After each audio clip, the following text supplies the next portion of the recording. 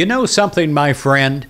When I've been going through in my life some of the worst times, it turned out to be my best times.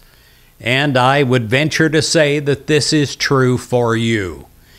It's a time that you feel God. It's a, it's a time that you uh, sense more than you think you're capable of.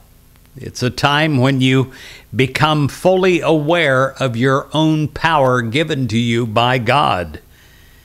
Sometimes, when you're going through the seemingly bleakest of circumstances, you discover your true potential. And without hesitation, you can rely upon God. You can rely upon divine ideas given to you that you never thought of before. New inventions inside of your mind for you and for your life ahead. And you give them expression through the God given power and motivation that is yours. All that you are capable of achieving is already within you. It is given to you by God and at the right time and the right place. You can call upon these divine qualities.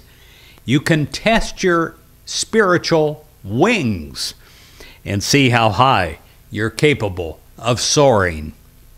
When those moments come, you can relax knowing that you are fulfilling a divine appointment, that God is coming to meet you in the moment.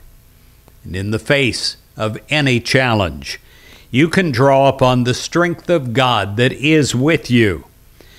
Discovering your true self is uncovering your spiritual identity. And then it's up to you to be true to yourself in all that you do. Your true self is a divine being, expressing God's divine ideas in all that you do. In Mark 10:27, Jesus looked at them and said, "For mortals it is impossible, but not for God, for God all things are possible.